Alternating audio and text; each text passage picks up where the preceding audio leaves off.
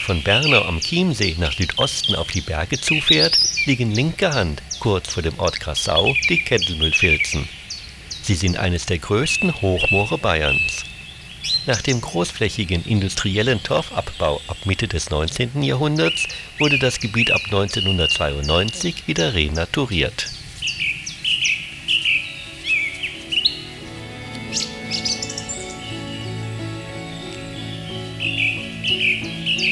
Die Kendelmühlfilzen haben sich aus der Verlandungszone des früher weit größeren Chiemsees entwickelt.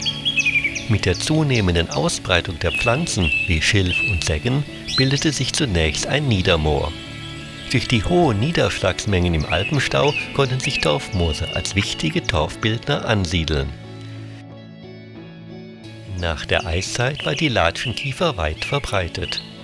Heute kann sie sich nur oberhalb der Waldgrenze und in Hochmooren gegen andere Gehölze durchsetzen.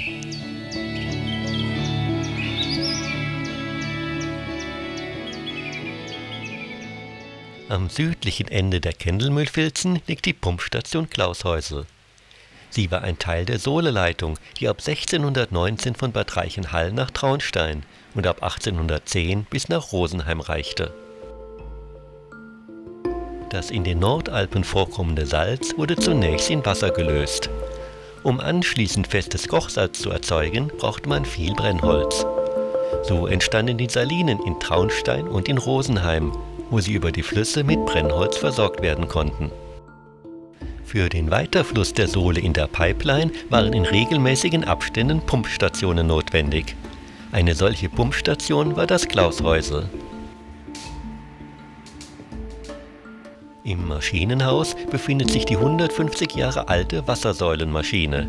Sie besteht aus einer Sohlepumpe, die von einem wasserbetriebenen Hubkolbenmotor angetrieben wird. Das Ganze wurde von dem bayerischen Ingenieur Georg Reichenbach entwickelt.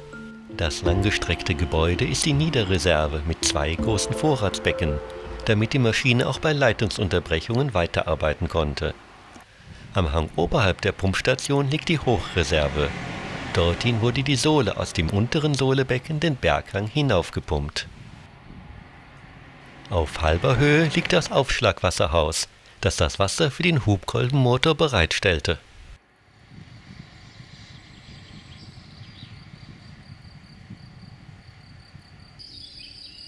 Der Weg von Süden auf die Chiemgauer Hochplatte beginnt bei einem Bauernhof kurz oberhalb des Dalsenbachtals. Von hier geht es durch herrlichen Mischwald zur Oberauer Brunstalm. Hier dominieren Waldblumen wie Ackelei, Bergflockenblume und Waldvögelein.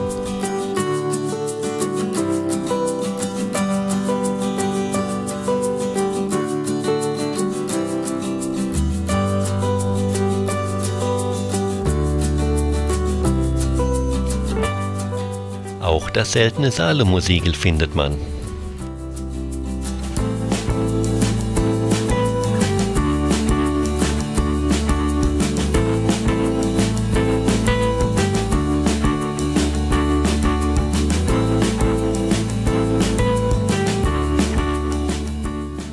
Nach der Oberauer Brunstalm steigt man einen breiten Wiesenrücken empor. Die Vegetation wechselt zu Wiesenblumen wie Mehlprimel, Kamille, Kugelblume und Berghahnenfuß.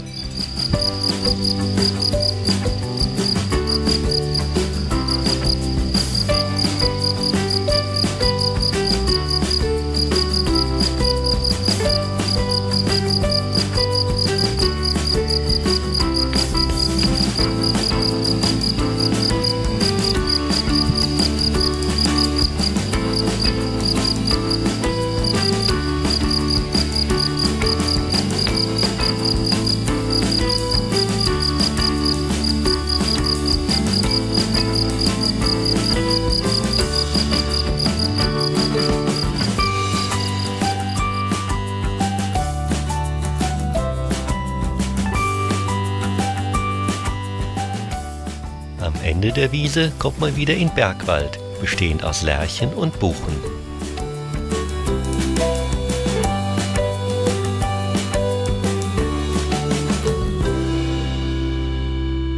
Dem Kamm folgend liegt der Teufelstein am Weg, ein wenig ausgeprägter Vorgipfel, der mit ein wenig Kletterei erreicht werden kann. Er hat seinen Namen aufgrund eines Felsabbruchs mit zwei Löchern, durch die der Sage nach der Teufel gefahren sein soll. Die Route erreicht nun Latschengelände und kurze Zeit später steht man auf dem Gipfel der 1583 Meter hohen Chiemgauer Hochplatte.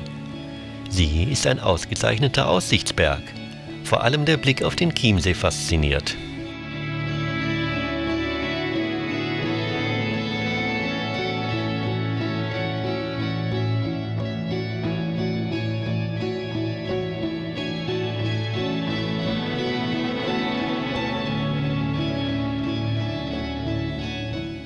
Der Abstieg führt durch lichten Buchenwald.